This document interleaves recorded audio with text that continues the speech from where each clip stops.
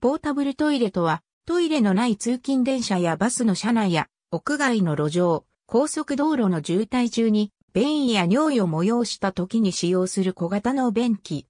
道路における交通渋滞や登山、災害時などに使用したり、通勤電車の車内で催した時や、怪我や病気で移動が困難な人が、用便などする場合などにも使用する。携帯用トイレとも言う。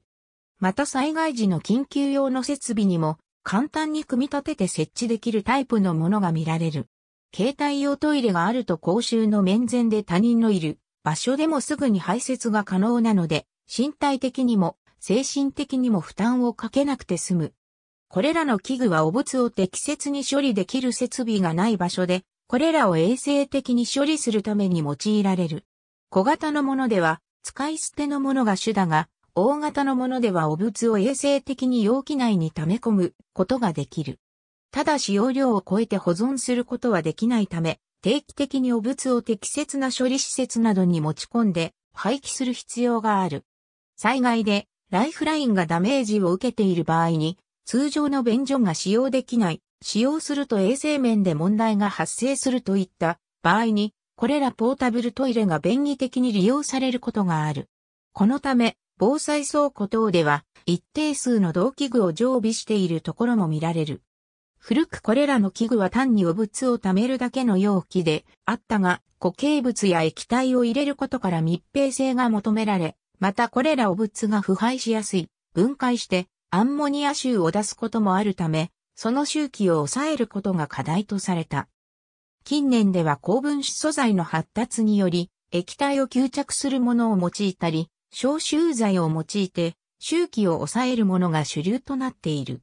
また従来では汚物を一時的に保管するだけだった大型、設置型のものでは小型の化学処理や生物学的処理を行う装置を備え、従来よりもより大量の汚物を処理できるものも登場しており、季節で訪れる人の増減が激しい行楽地の仮設便所や災害時の緊急用としての利用が期待されている。使い捨てのものと、洗浄して何度も使えるものと、消耗品を取り替えることで何度も使えるものが存在する。構造としては、汚物受けと本体が分離したものと、それらが一体化したものが存在する。体型、編集非常に軽量、コンパクトでありかさばらない。受け口を排尿口に当てて使うが、女性や幼児の場合きちんと密着させておかなければならないため、少々使いにくい。死瓶、編集死瓶死瓶とは、尿を受けるための瓶状の容器。男性用と女性用、子供用が存在する。女性用は男性用に比べて受け口が広い。子供用は受け口が広がっているとともに小さめに作られている。排尿口に当てて使う。寝ながらでも排尿することができる。派生型として持ちやすいよう尿受けと本体が分離した安楽尿器等の器具がある。元来は、死瓶という表記だが、あまり用いられない。尿頭、編集尿頭とは、主として竹で作成した携帯型の小便器。側体など複雑長大な衣服を着用して、用を足すことが困難な際、衣服中に差し入れて用いた。従者の腰に刺させ、または、浅木の脳に入れて従者に持たせた。鎌倉時代から江戸時代にかけて、征夷大将軍などの尿頭を扱う、公人長石人と呼ばれる役職が専任かつ世襲で存在した。尿頭は、関東、関東とも言う。基礎街道続碑作り下三編した1822年では、作中人物が関東の中の酒を飲んだ一幕がある。すなわち、お正、ええらちもない日読んだくれなことしたわい。親父、なんで自愛な？おしょう、その吹きとの酒うっかりどによ、つたが、ああ胸がムカつくムカつく。やじ、なぜでござります？おしょう、相対金利のご相々などの不指導情報が皆、持たせられる。関東というものはそれじやわいなあなた方が急に、長図に行きたくならせられた時それへなさるるものじや、江戸でも青竹をひ吹きだけほどにきつて、大名衆の持たせられることがあるやはり江戸でも、関東と言うて小便なさるる者字やわいな。北八、ええそんなら、これ吹きと元は、公家州の小便単価へ、さあさあ大変大変。とある。小便器型、編集用途は男性の雇用限定だが、ポリエチレン製で上部が朝顔便器、下部がポリタンクになったどこでも使用できる簡易的な小便器が建設現場や災害時に使用されている。おまる、編集おまるおまるとは、幼児が使用する小型のポータブルトイレである。おむつが取れた後、一般のトイレで用が足せるようになるまでの間に、用いられる中継的存在で、トイレットトレーニングなどの家庭教育にも利用される。大小便、男女兼用。主に2歳頃から5歳頃まで使用されることが多い。組取り式便所では、排泄時に誤って便槽に落ちてしまう恐れがあるため、幼児が安全に排泄できるよう作られたとされる。しかし最近では組取式便所より、洋式の推薦式便所の家庭や施設が多いため、排泄後の流す訓練や排泄後に片付ける手間がないといった点から、トイレットトレーニングにおいて、おまるを飛ばして、一般の洋式トイレで補助便座を使って行うケースや、幼児用便器を使って行うケースも出てきており、おまるの存在意義が薄れつつある。だが幼児にとっては、慣れ親しんだ部屋で排泄できるので安らぎを得たり、踏み台などを使わなくても床に足がつくので安定した姿勢で排泄が行えるというメリットがある。幼児がまたがって使用する形のものと腰掛けて使用する形のものが存在するが、またがって使用する形が一般的。構造としては、お仏受けと本体が分離したものと、それらが一体化したものが存在する。男女兼用型ではあるが、男の子向けデザインと女の子向けデザイン、男女兼用型デザインがある。2000年代の日本では、サンリオやアンパンマンスヌーピーなどの幼児層に人気のあるキャラクターグッズをあしらった製品が主流であるが、かつては動物をあしらったものが主流であった。その他に洋式便器のミニチュア版や、男の子用に小便器をかたどったものも存在する。生きむためや体を固定しやすく安定感が得られるように、ハンドルを持つ製品が主流で、このハンドル部分にも様々な形状の製品が多く、また幼児が排泄中にその行為に飽きないよう、玩具としての機能を持つ製品も見られる。ミニオマル、編集、組み立て式になっており、組み立てるとオマルのような形になる。大小便、男女兼用型。受け口を排尿口に密着させる必要がなく、腰掛けるだけで良いので、女性や幼児にとっては使いやすい。幼児用と大人対応型が存在する。単にミニを丸というと、幼児用を指すことが多い。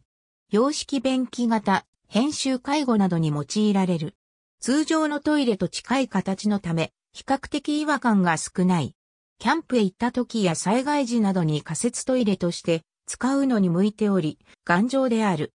お物タンクに溜めておいた排泄物をトイレに捨てる形式が一般的であるが、微生物の働きで排泄物を分解してしまい、処理の手間を省いた製品も存在する。また、製品によっては、ソファー、椅子をモチーフにした家具調タイプのものも販売されており、部屋の雰囲気を壊さない家具としても使えるという長所がある。主に、キャンプ用として、簡易水洗タイプのものもあり、便器の上部が洗浄水タンクで下部が汚物タンクの構造となっており、内容物を捨てるときは、汚物タンクに専用のパイプを用いて、簡単に便器に捨てることができるようになっている。災害用としては、蒸気のミニオマル同様に組み立て式のものがあり、段ボール製の便器に特殊なビニール袋を入れて、袋の中に処理剤を入れて使用する。袋を交換すれば何度でも使用できるほか、洋式便器に袋と処理剤を入れて使用できるものもある。差し込み便器、編集、差し込み便器差し込み便器とは、尻の下に差し込んで使う便器。寝ながら排泄することができる。寝たきり患者などベッドから動けない人に対して用いられる。ただし、腸や肛門が下を向かず、重力を利用して排泄することができないため、腹圧を余分にかけて排泄する必要がある。一般的な吐き袋エチケット袋は吐き気に伴う吐砂物を受けるもので乗り物酔い時などで用いられる。航空や船舶などの運輸業では、吐袋と称される。内面を樹脂内面を防水処理した紙袋状の製品も販売されており、使用時に開封して使用後は袋の口を折り返す。非常時はビニール袋やバケツなどのうちに古新聞紙を広げたり、エチケット袋を小便、大便の処理に使用することもできる。予想外の渋滞に巻き込まれ、催した際には、道端で用を足しても罪にはならないが、公衆衛生上好ましいことではなく、その上、恥ずかしく、良いとは言い難い。特に子供のトイレは突発的に来るので、携帯トイレを用意しておいた方が良い。山は気温が低く、微生物の働きが悪いため、用を足してもなかなか分解されずに残ってしまう。山のトイレも排泄物の処理には、処理する人間及び自然に多大な負荷をかけてしまっている。これに加えて、排泄物に含まれる大腸菌等で湧水が汚染され、引用できなくなる事態も多発している。自然保護のためにも近年は携帯トイレブースの設置も広がりつつある。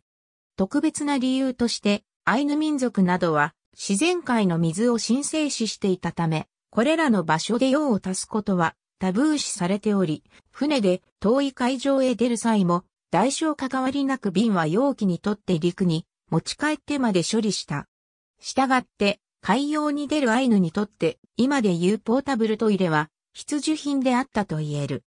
育児、介護、看護でトイレに行って、用を足すことが困難な際にポータブルトイレが用いられる。移動距離が少なくなり、本人、介助者ともに負担を減らすことができる。ただし、本人の運動量が減少して、筋力の低下や活動意欲の低下を招く恐れもあり、理由がない限り使用すべきではない。高人潮石人引くことバンク、2013年12月2日、閲覧。大分県では死亡事故が発生。東京防災断水時のトイレの使い方、簡易トイレの作り方。東京都。2017年4月4日閲覧。AB 森光一。日本古代文化の探求墓地。社会思想者 PP160 から161。ありがとうございます。